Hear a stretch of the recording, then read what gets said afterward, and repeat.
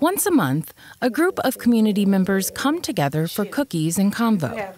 Yes, there are treats and occasional visits from partners like Build a Bear, but the convo part is sometimes not as sweet.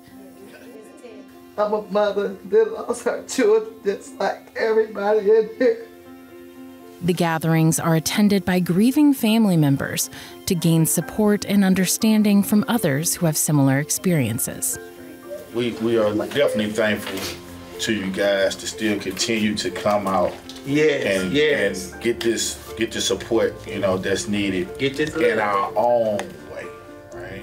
Not The group sessions are led by parents who are all too familiar with the tragedy of losing a child. Following the killing of Michael Brown Jr. in 2014, Michael and Cal Brown created the Michael Brown Sr. Chosen for Change organization. We created um, Chosen for Change in 2014. Um, in early October, um, a gentleman who I grew up with brought us a picture that was drawn by a nine year old at the time. And somehow he got hold to Mike's obituary and he um, duplicated the photos that was on there.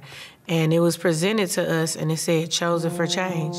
And we looked at each other and we like, that's it. Provide grief support for the entire family. We have chosen fathers that create a space that is inclusive to a grieving father's healing.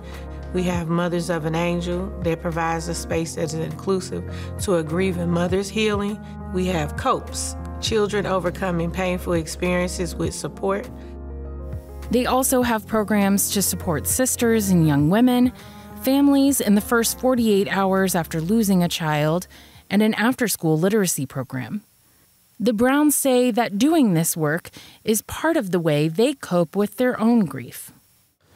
Yeah, I'm not sure what much else to say really, other than like I just have to learn to live with this pain for the rest of my life. You know, like I know it's never gonna go away.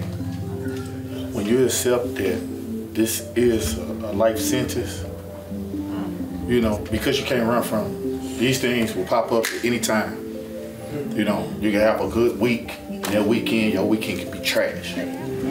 So when you accept that, it's gonna take some time. It's always some baby steps ahead, but just know you'll learn how to walk again. And I tell people I don't have the blueprint to it, you know, but I can definitely tell you how I got, how I'm going through it, you know. And maybe it can help, you know. Some things, sometimes it helps and sometimes it don't. Some people have to find their own, that, you know, wave that helps them. I put a lot of my, uh, my work into the foundations. That helps, you know, it's, it's part of the healing for us.